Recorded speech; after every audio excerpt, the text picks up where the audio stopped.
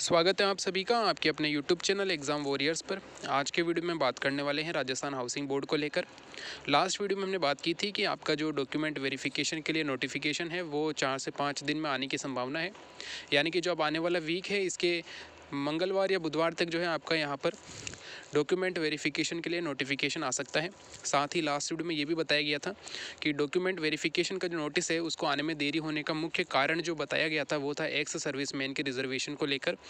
यानी कि जो पहले रिज़ल्ट आया था सभी कैटेगरी का, यानी कि सभी जो पोस्ट है उनका तो उसमें जो है एक्स सर्विस मैन के जो रिजर्वेशन है, उसको लेकर यहाँ पर जो है रिज़ल्ट में बदलाव हो सकता है। यानी कि जो पहले रिज़ल्ट आया था, उसकी जगह अब नया रिज़ल्ट आने के चांस बनते हैं, क्योंकि पहले एक्स सर्विस मैन का जो रिजर्वेशन था, उसको वहाँ पर नहीं अपनाया गया था। तो अब यहाँ पर जो है फिर से रिज़ल्ट आने की पूरी संभावना है और इसी के बारे में हमने लास्ट वीडियो में बात की थी कि एक सर्विस मैन का जो रिजर्वेशन है, उसको लेकर यहाँ पर रिज़ल्ट वापस आ सकता है। और अब जो है आज कई अभ्यर्थियों के उस वीडियो पर जो है क्वेश्चन भी उन्होंने पूछे हैं कि रिवाइज रिज़ल्ट किस बात को लेकर आएगा या किस पोस्ट के लिए आएगा। तो यहाँ पर सभी पोस्ट को लेकर रिवाइज रिज़ल्ट आ सकता है, क्योंकि उसमें भी यही कहा गया था कि एक सर्विस मैन के कारण जो है यहाँ पे डॉक्यूमेंट वेरिफिकेशन में देरी हो रही है। तो चार से पाँच दिनों में पॉसिबल है कि आप सभी के लिए जो है डॉक्यूमेंट वेरीफिकेशन का नोटिस जारी कर दिया जाएगा।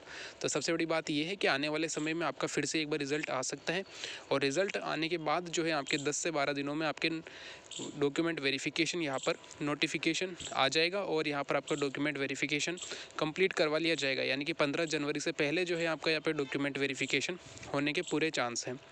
जहाँ तक बात है रिवाइज रिज़ल्ट की तो इसमें ये हो सकता है कि कई अभ्यर्थी जिनका पहले यहाँ पर सिलेक्शन हो गया था, उन्हें जो है अपना रोल नंबर इस बार देखने को नहीं मिले।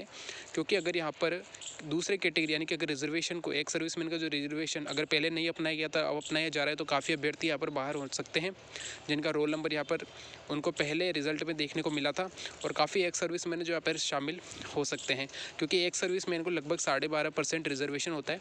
तो अगर बात करें जूनियर अकाउंटेंट की तो जूनियर अकाउंटेंट में पचास पोस्ट है। तो पचास पोस्ट और साढ़े बारह परसेंट अगर हम बात करें तो लगभग छः सात पोस्ट जो है उनके लिए है।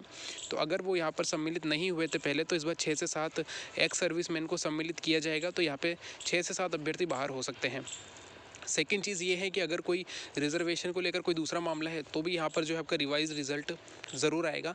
यानी कि आपको ये मान के चलना है कि सभी पोस्ट के लिए आपका रिवाइज रिज़ल्ट आने वाला है और यहाँ पर काफ़ी अभ्यर्थी जो है वो बाहर हो सकते हैं और काफ़ी अभ्यर्थियों को यहाँ पर जो है फिर से यानी कि उन्हें शामिल किया जा सकता है। तो डॉक्यूमेंट वेरिफिकेशन से पहले आपका एक बार रिवाइज रिज़ल्ट ज़रूर आएगा। दूसरी बात यह है कि आपका जो रिवाइज रिज़ल्ट आएगा, उसके बाद आपका डॉक्यूमेंट वेरिफिकेशन 10 से 12 दिनों में करवा लिया जाएगा और जो आपका रिज़ल्ट है, जैसा कि पहले भी बताया गया था कि रिज़ल्ट आपका जनवरी के फाइनल जो रिज़ल्ट है, वो जनवरी के महीने में आपको एंड तक देखने को मिलेगा। और जहाँ तक बात है आपकी ज्वाइनिंग की तो ज्वाइनिंग भी आपको जल्द से जल्द दी जाएगी, क्योंकि आपको पता है हाउसिंग बोर्ड ने काफ़ी जल्दी जो है इस भर्ती को कंप्लीट करवाया है। आचार संहिता के कारण यहाँ पर दो महीने की देरी हुई है, वरना अगर ये उस समय हो जाता डॉक्यूमेंट वेरिफिकेशन अगर ये सब चीज़ें हो जाती तो अभी तक जो है ज्वाइनिंग भी मिल सकती थी। तो लगभग जो है यहाँ पर काम काफ़ी काफ़ी जल्दी होगा और जहाँ तक अनुमान है, पंद्रह फरवरी तक आपको यहाँ पर ज्वाइनिंग मिल सकती है। तो ये था हमारे वीडियो जिसमें हमने बात की है लास्ट वीडियो को लेकर, क्योंकि वहाँ पर अभ्यर्थियों को यही प्रश्न था कि रिवाइज रिज़ल्ट आएगा तो रिवाइज रिज़ल्ट ज़रूर आएगा, क्योंकि यहाँ पर रिजर्वेशन की बात है तो रिवाइज रिज़ल्ट ज़रूर निकाला जाएगा। इसके अलावा अगर कोई प्रश्न हो तो आप कमेंट बॉक्स में पूछ सकते हैं और और अधिक जानकारी के लिए आप जो है हाउसिंग बोर्ड से संपर्क कर सकते हैं। उनके टेलीफोन पर भी कॉल कर सकते हैं या आप वहाँ पर जाकर जो है उनसे संपर्क कर सकते हैं। वैसे अनुमान यही है कि बुधवार तक जो है आपका यहाँ पर कोई ना कोई नोटिफिकेशन आपको देखने को मिलेगा।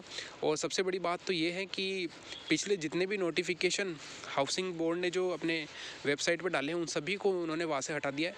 चाहे आप रिज़ल्ट को लेकर है, चाहे डॉक्यूमेंट वेरिफिकेशन का नोटिफिकेशन है, सब वहाँ से हटा दिए गए हैं। अगर आप अपना जो रिज़ल्ट आया था, जिसमें रोल नंबर आए थे कि इन इन अभ्यर्थियों को सम्मिलित किया गया है तो वो नोटिफिकेशन भी उन्होंने वहाँ से हटा दिया है। तो आप समझ सकते हैं कि आपका रिज़ल्ट जो है वापस आने वाला है, इसलिए उन्होंने अपने पुराने नोटिफिकेशन हटा दिए हैं। आप चाहे तो वहाँ पर जाकर चेक कर सकते हैं, आपको वहाँ पर कोई नोटिफिकेशन देखने को नहीं मिलेगा, क्योंकि वहाँ से हटा दिए गए हैं और आपको जल्द से जल्द जो है नए नोटिफिकेशन देखने को मिलने वाले हैं। तो ये था हमारा वीडियो अगर आपको वीडियो अच्छा लगे तो लाइक एंड शेयर ज़रूर कीजिएगा और अगर आपका कोई क्वेश्चन है तो आप कमेंट बॉक्स में पूछ सकते हैं। थैंक यू जय हिंद जय भारत